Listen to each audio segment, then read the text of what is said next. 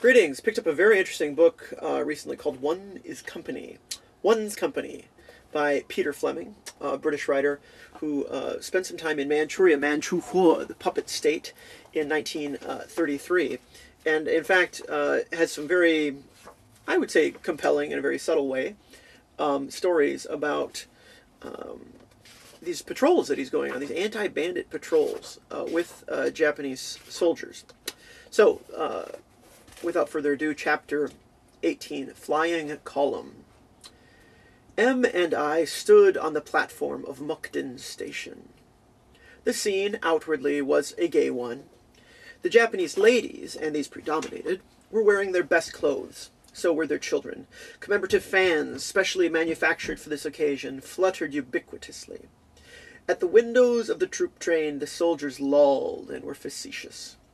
Another flying column was leaving Mukden on anti bandit operations.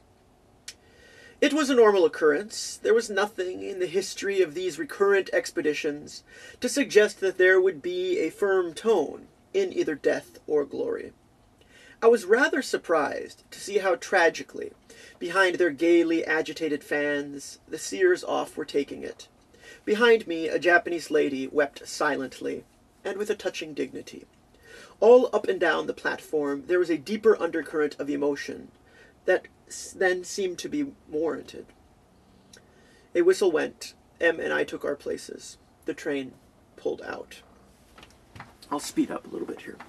All that we knew of the plan of the campaign was this. The worst bandit country in Manchuria was in the mountains east of Mukden. On this area, a, small, a number of small, swiftly moving units were about to converge. Each had as its first objective a village inside the area, on reaching which it would go into garrison for a time and carry out the intensive pacification measures in the district. The second stage of the campaign depended on developments. It had not yet been formulated, although he writes later, he writes about executions uh, that happened. He also shows these propaganda units um, that would come in and uh, play phonograph records uh, for Chinese children and basically tell them you're a part of this new amazing Wang Dao, right? This new system, this uh, imperial system. The unit to which M and I were attached was a mixed force of Japanese and Manchukuo troops under the command of a Japanese major. The Japanese, who numbered about 175, were men of the Independent Railway Guard, which is a force roughly equivalent to a division with its headquarters at Mukden. Officially, as its name suggests, it does not count as part of the regular army. This was one of its most useful characteristics in the days when Japan's forces in Manchuria were limited by treaty. There were also about 400 Manchukuo troops, controlled, though not nominally commanded, by a Japanese captain. We saw very little of these, for they marched always in the rear and accompanied, accompanied the column, I think, as much for training as for anything else. Now, our jumping off point was Fushun, for which the benefit of those who like to think in household words may be called the Sheffield of Manchuria. The men were detrained and marched off to barracks on the outskirts of the town.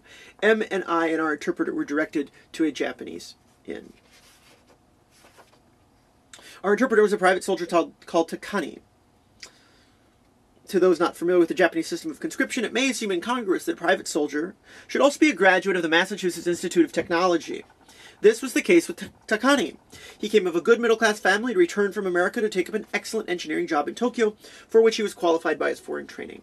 But he, like every other young man who was not debarred from doing so by physical or moral disability, had to serve his two years in the army. He had been nine months in Manchuria, and he did not much care for it. He was a rather special case. He was 26 years old. Every recruit had to submit to the rigorous discipline, the monotony, and the minimum allowance of leave, which are the lot of the Japanese soldier. But most of them begin their term of service before the age of 20, and the two years involved are thus of no serious loss to their career. Takani, however, brought into barracks a mind to some extent emancipated from the simple, unquestioning traditions of his contemporaries. And moreover, the necessity of putting in his period of conscription, which had lost him a good job, hardly won. Besides which, he found that after his life abroad, he had little in common with the comparatively callow boys who were now his companions. So, although he made an admirable soldier, being quick witted and handy, he was a little discontented. To us, he was invaluable. We were an odd trio. M was, and still is, as far as I know, a member of the House of Lords. He was 29 years old and tall for his age. He had some sort of journalistic pretext for his presence in Manchukuo, but it was a thin one, for during a prolonged stay in the Far East, he was never known to put pen to paper. Really, it was the hope of adventure that had brought him. As a companion, he had numerous advantages besides his native charm. Among them, a capacity for enduring discomfort without complaint, an inexhaustible fund of conversation on a variety of topics, and a courtesy toward the Japanese, which was more flowery and more appropriate than anything which I, a rather boorish individual, could hope to sustain for long. Also, he was well equipped. How well equipped I only realized when we made an inventory of our belongings at the inn at Fushun. I had interpreted literally our instructions to pack light by putting into a rucksack a shirt, shorts, two pairs of socks, a bottle of whiskey, Boswell's Life of Johnson, and half a pound of cheese, the sole indomitable survivor of my trans-Siberian victuals. This, with blanket, camera, films, field glasses, and water bottle, made a load which, in case of necessity, could be carried on foot. M was far better provided.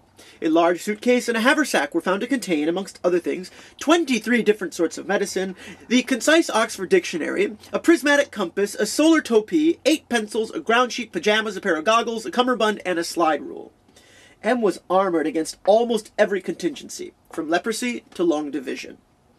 We had been issued by the Japanese consulate general with automatic pistols, but these we had left behind partly on the principle that it never rains if you wear a Macintosh, and partly because these weapons are, except as local color, more trouble than they are worth to those not expert in their use.